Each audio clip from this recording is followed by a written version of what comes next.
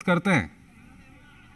बिल्कुल ये जैसा मैंने कहा कि ये डायस्पोरा डिप्लोमेसी जो है, प्रधानमंत्री नरेंद्र मोदी ने इस डायस्पोरा डिप्लोमेसी को भारत की विदेश नीति से के एक नए आयाम के तौर पे जोड़ा। अब आप देखिए, होटल के अभी अभी आपने एयरपोर्ट पे देखा, उसके बाद आप होटल्स में देखिए कि होटल में और एक बात और नोट कीजिए। आप देख रहे हैं, वहाँ पर कोई ऐसा नहीं है कि वहाँ पर जो है कुछ वहाँ पे कुछ वृद्ध लोग हैं या इस, इसमें आपको ऐसे यंगस्टर भी दिखाई दे रहे हैं चंद्रशेखर जो दरअसल अमेरिका में ही पैदा हुए होंगे। हम्म। उनकी एक या दो पीढ़ियाँ जो हैं वो वहाँ पर जो है दरअसल एक या दो पीढ़ी वहाँ पर बसी होगी और उनका जन्म वहाँ हुआ। भारत भारत में नहीं बल्कि अमेरिका में जन्म हुआ। लेकिन उसके बावजूद अमेरिका में जन्म हुआ लेकिन ये पीढ़ी जो है भारत के साथ जो कनेक्ट कनेक्शन है नरेंद्र मोदी ने इस पीढ़ी को भारत के साथ जोड़ा। देखिए आप भीड़ देखिए वहाँ।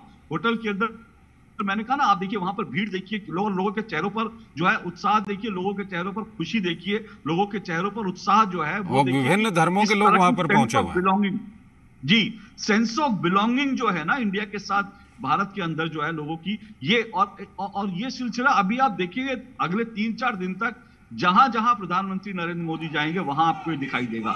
महत्वपूर्ण बात क्या है कि चंद्रशेखर, जब प्रधानमंत्री नरेंद्र मोदी व्हाइट हाउस के अंदर जो बाइडन के साथ मुलाकात करेंगे तो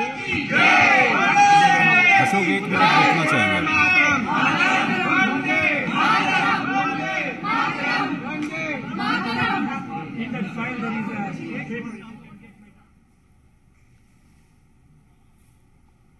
ये आप देख सकते हैं, प्रधानमंत्री ऑटोग्राफ भी वहाँ पर दे रहे हैं लोगों को। करते हैं। बिल्कुल, ये जैसा मैंने कहा कि ये डायस्पोरा डिप्लोमेसी जो है, प्रधानमंत्री नरेंद्र मोदी ने इस डायस्पोरा डिप्लोमेसी को भारत की विदेश नीति से के एक नए आयाम के तौर पे जोड़ा। अब आप देखिए, होटल के अभी अभी आपने एयरपोर्ट पे देखा, उसके बाद आप होटल्स में देखिए कि होटल में और एक बात और नोट कीजिए। आप देख रहे हैं वहाँ पर कोई ऐसा नहीं है कि वहाँ पर जो है